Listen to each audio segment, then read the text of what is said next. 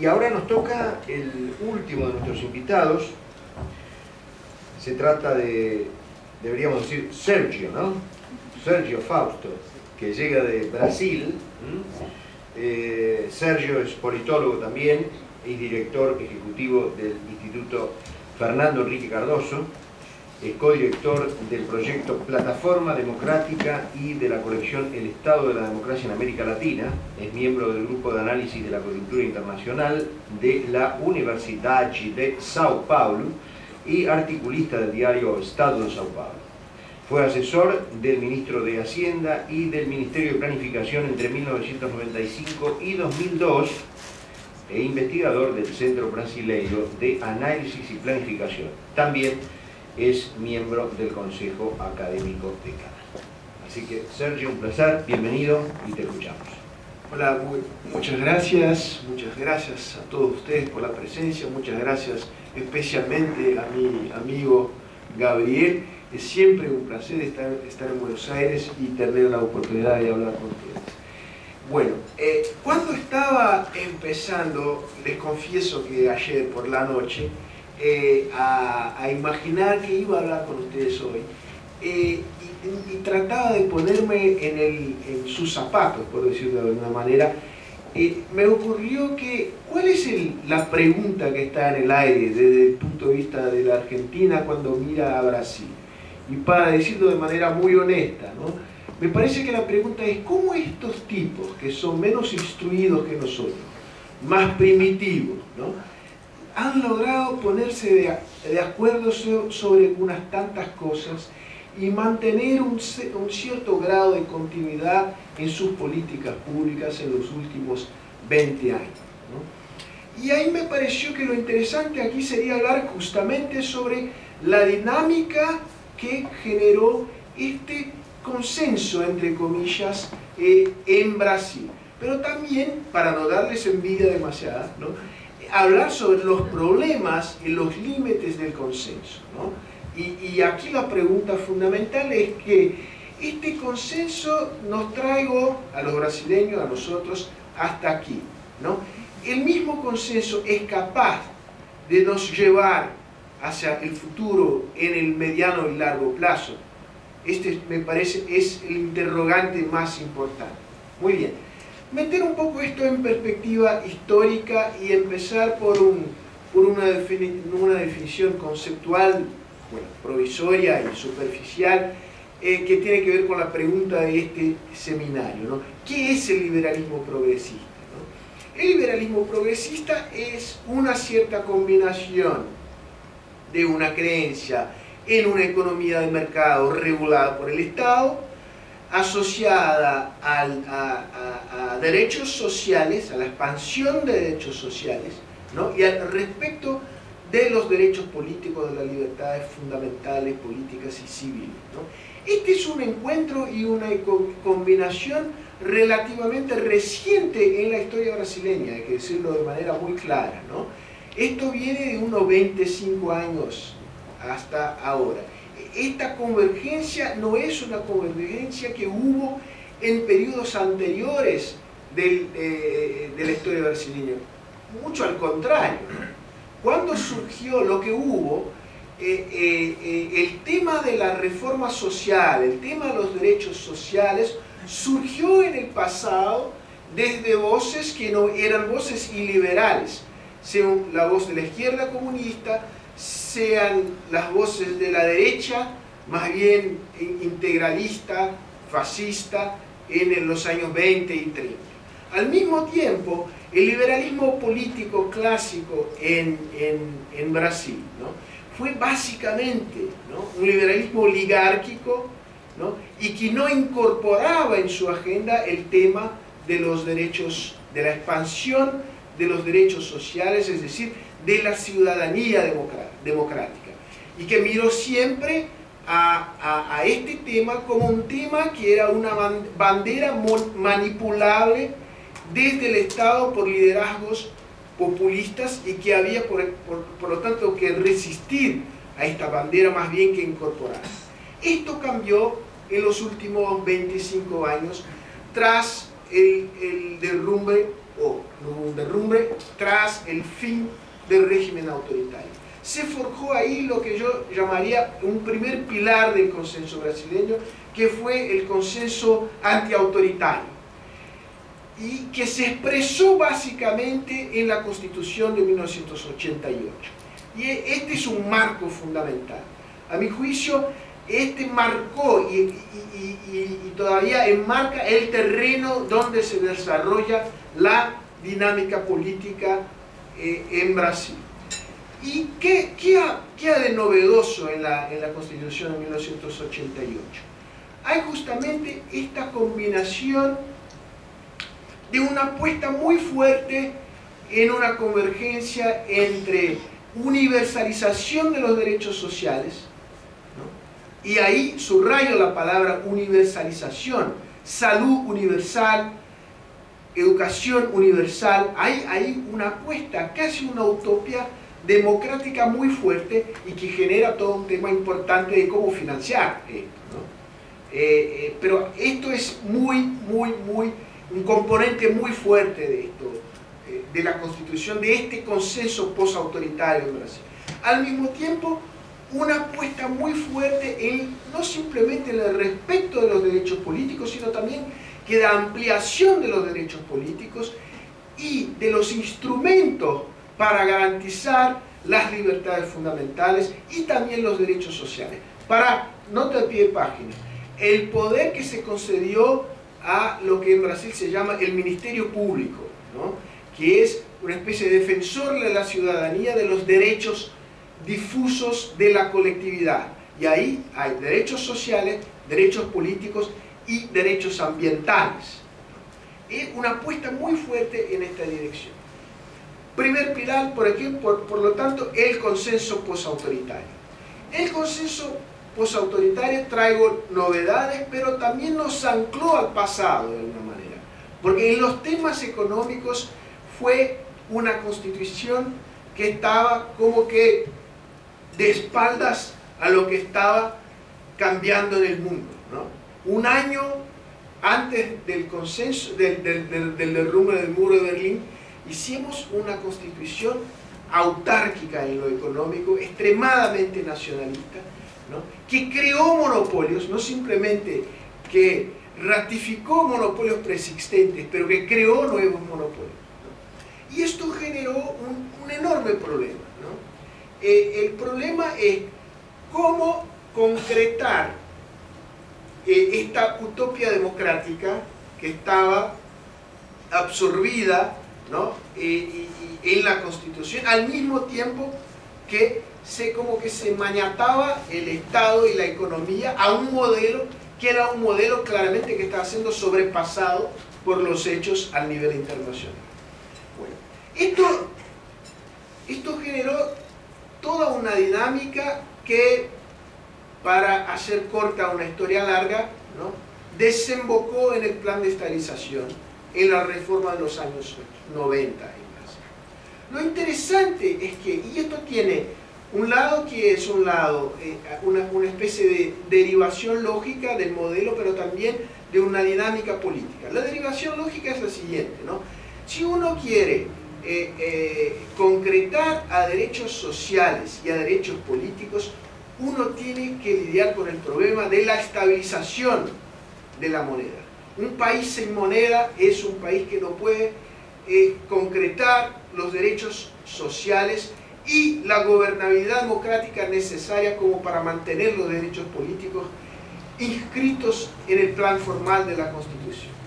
Desde el punto de vista más pragmático, lo que pasó es que la, la oferta de derechos sociales en la Constitución impulsó el gasto social del Estado, esto fomentó a la inflación aún más y generó un grado de malestar social creó las condiciones políticas como para hacer el plan de estabilización que fue el plan real. Que nació, al contrario de los, de los planes anteriores de estabilización, en una modalidad eh, de diálogo con la sociedad. ¿No? puedo profundizar este tema, pero es un componente importante del modelo brasileño, brasileño que es una apuesta institucional muy fuerte que fue la apuesta del gobierno Cardoso. La apuesta del gobierno Cardoso, que estaba reflejada desde el inicio en el plan real, es una apuesta en tres componentes.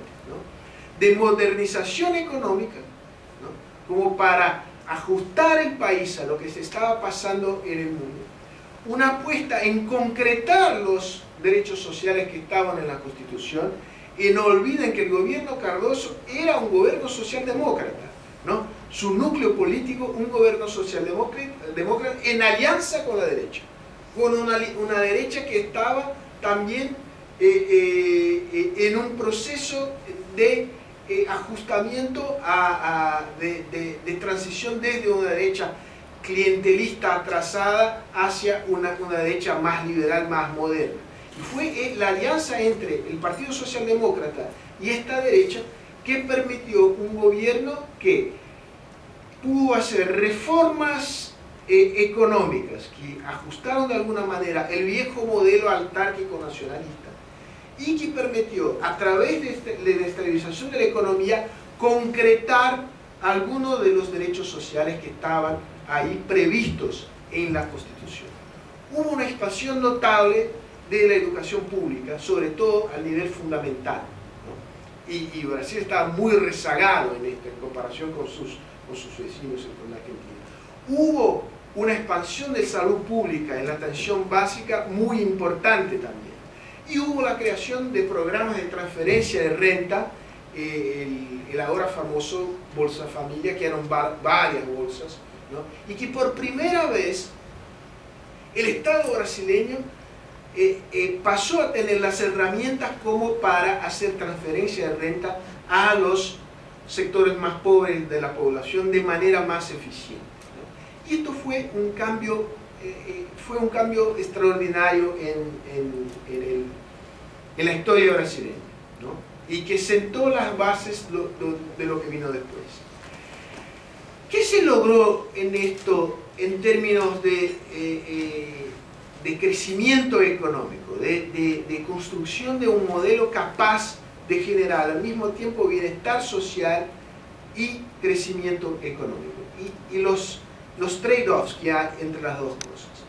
Ahí creo que tenemos que mirar con una cierta distancia lo que pasó en los años de Cardoso y reconocer que hubo, eh, se, se, sentaron las bases de, la modernización económica de Brasil se sentaron las bases de la estabilización económica y de la moneda.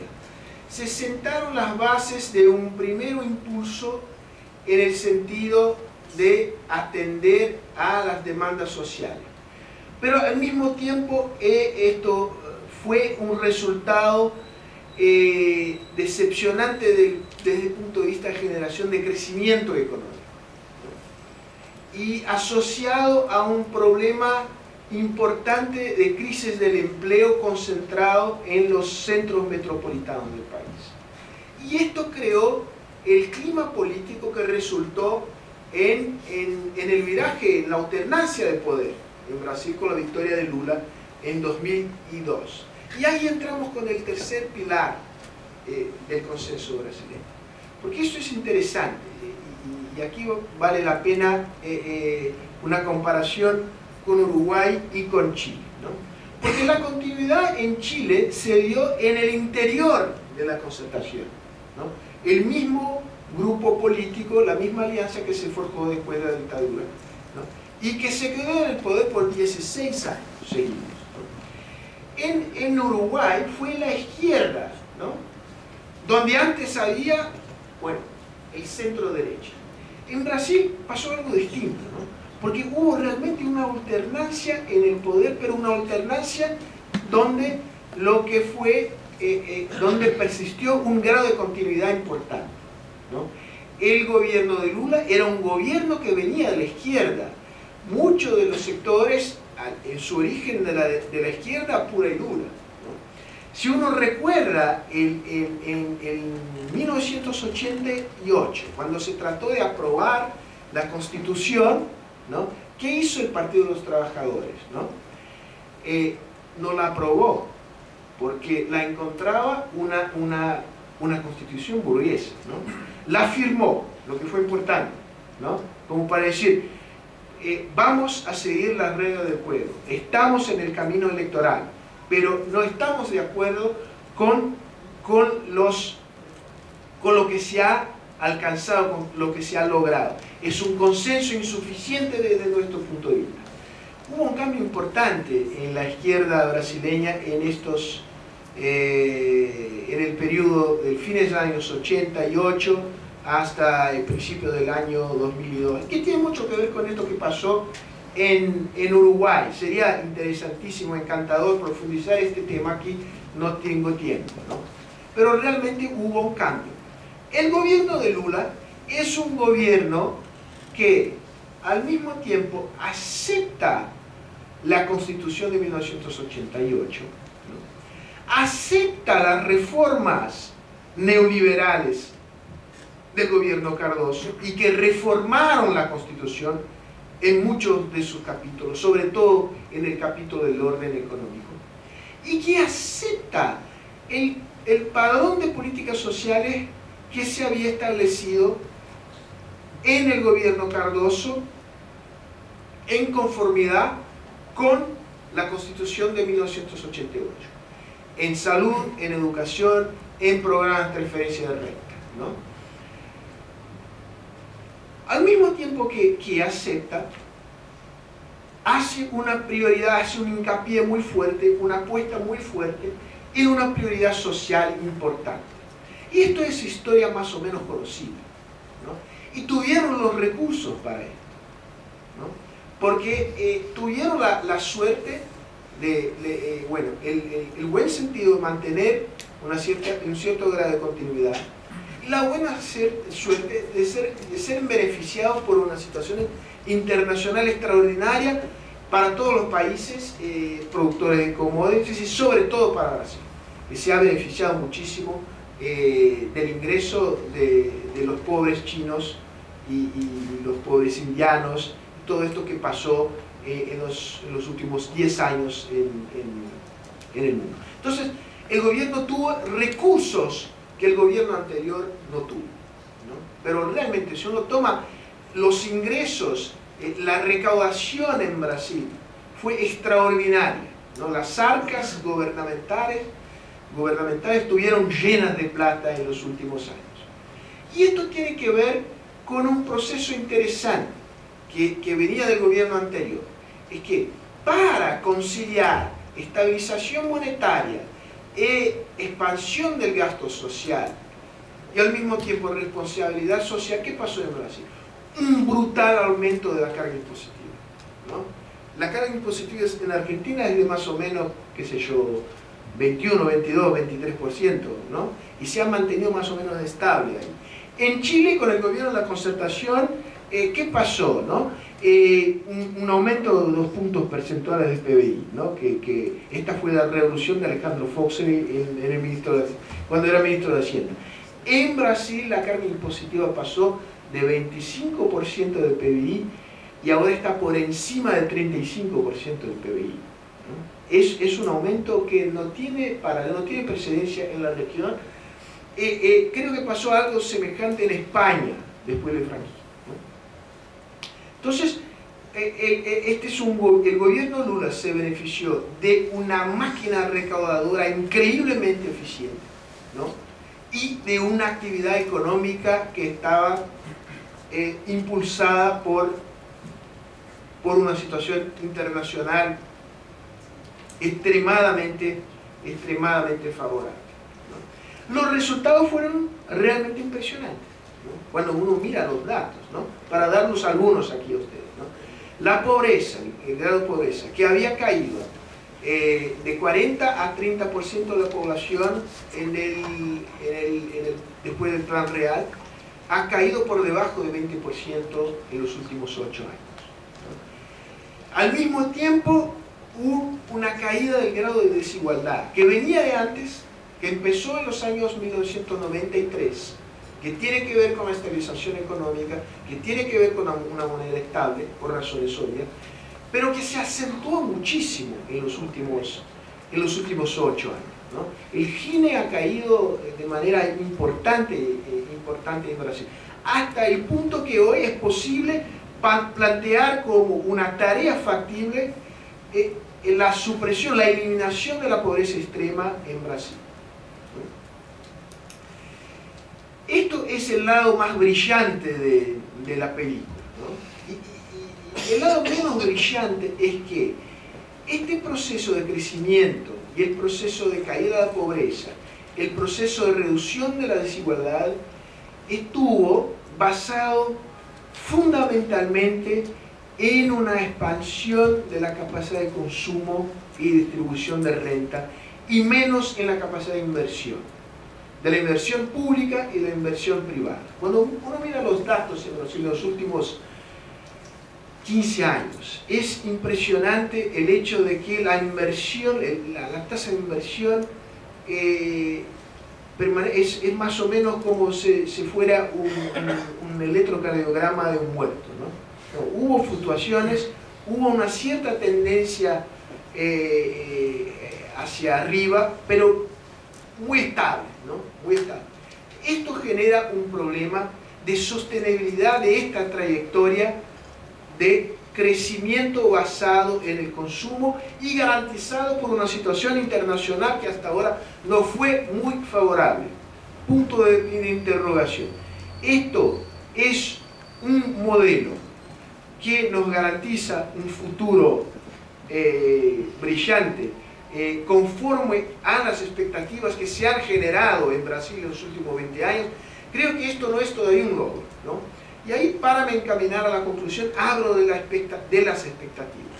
Y ahí también hay puntos de contacto interesantes, sobre todo con lo que habló eh, Patricio, que es el hecho de que surgió, emergió en Brasil, emergieron nuevas capas sociales. Hubo un proceso de movilidad social hacia arriba muy acentuado en los últimos años.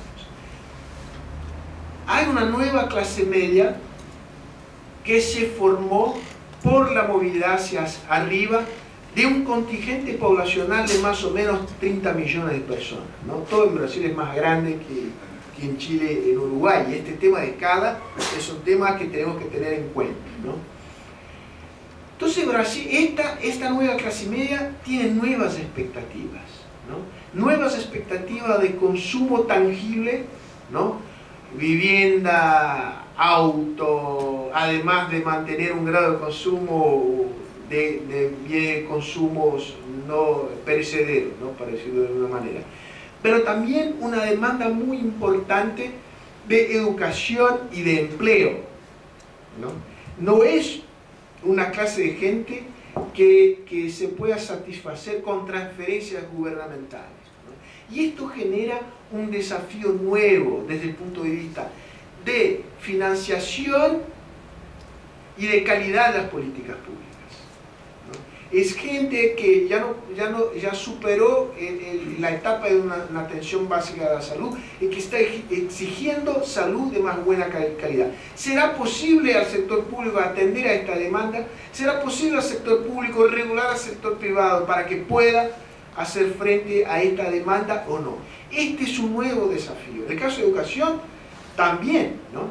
Es gente que ya ultrapasó la etapa de la enseñanza básica y ahora está eh, ascendiendo a la enseñanza universitaria. ¿Pero qué tipo de enseñanza universitaria? ¿Pública o privada? ¿Con qué tipo de subsidios? ¿no? ¿Con qué tipo de calidad? ¿Con qué tipo de regulación estatal? Todo esto es novedoso en Brasil.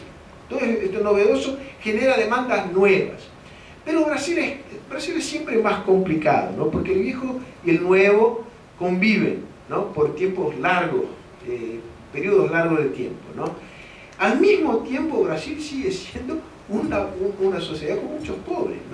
Entonces el Estado está defrontado con la tarea de hacer frente a demandas nuevas, pero siguen habiendo demandas viejas muy importantes.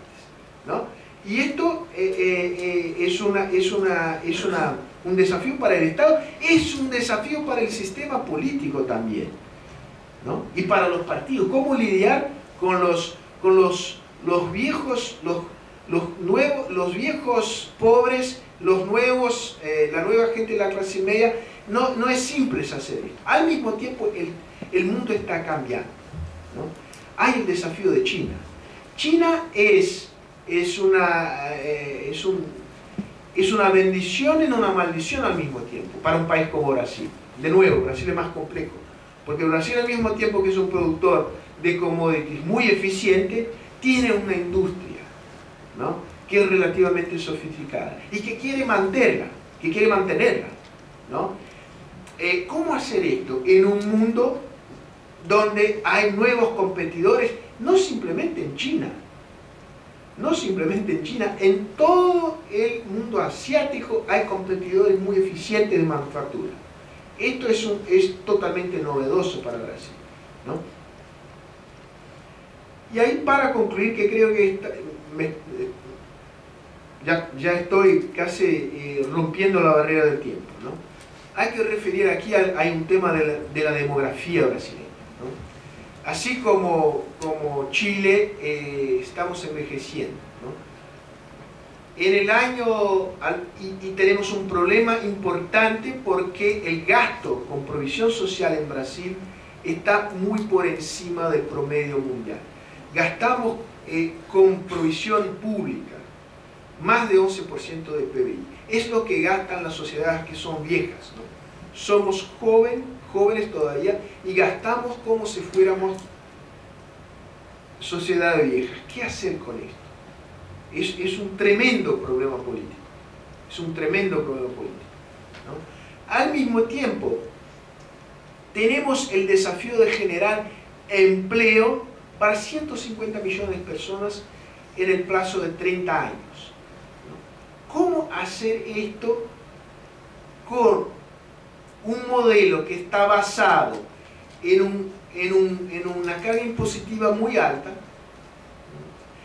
en ventajas comparativas y competitivas de un sector agro muy eficiente, pero que no genera eh, eh, la, la cantidad de empleo como para absorber estos nuevos entrantes en el mercado laboral. Entonces son temas ahí que no son temas que están suficientemente resueltos en los marcos del consenso que se forjó en 1988, que se eh, ajustó en el año 1994 en el periodo Cardoso y que de alguna manera se confirmó en el año 2002. ¿no? Entonces hay una controversia en abierto en Brasil. Y, me parece que el problema mayor es un problema político y que tiene que ver con la capacidad de las sociedades de cambiar sin dolor, ¿no? que es el tema del paciente, la comparación que hizo nadie. ¿no? Porque la gente ahora se siente bien, se siente bien. ¿no? Eh, y el tema es, sa sabrá la sociedad brasileña, y este es un tema de liderazgo político, hacer los cambios con antelación, ¿no? sin sentir el dolor que ha movido la sociedad brasileña en la dirección del cambio, porque fue así en 1988 bajo el dolor que había sido el régimen autoritario, porque en el régimen autoritario había ocurrido mucho crecimiento, pero muy mala distribución de ingresos y una, una libertad, para decirlo, represión ¿no? a las libertades fundamentales. En el, en el consenso de, de 1994 del periodo Cardoso fue forjado bajo el dolor de la hiperinflación. ¿no? Y el tema aquí es cómo generar el nuevo consenso político en una situación donde prevalece un grado de bienestar social para todos razonablemente aceptable. Y ahí una nota de pie de página para cerrar. Creo que esto fue lo peor del gobierno Lula. ¿no? Y ahí descuenten el sesgo político de un tipo que trabaja con el presidente Cardoso. ¿no? Eh, fue la idea de que a las reformas no eran más necesarias. De que habíamos logrado una fórmula mágica como para atender a todos, todas las demandas sociales, ¿no? De los grupos empresariales más grandes de Brasil, los campeones nacionales que se están transnacionalizando, eh, que tienen eh, un acceso privilegiado al Banco de Desarrollo, hasta los más pobres, ¿no? Y, las nuevas clases medias y todo, y que hay plantas para todos, no hay dolor, ¿no? Hay solo alegría, ¿no? Eh, Dios es brasileño y Lula está con ustedes. Y esto generó un, un problema grave en Brasil. Y, y Lima está lidiando con esto, pero no tiene la fuerza política como para cambiar esta situación. Y el fantasma de Lula está por ahí. Y para por aquí les agradezco mucho la atención.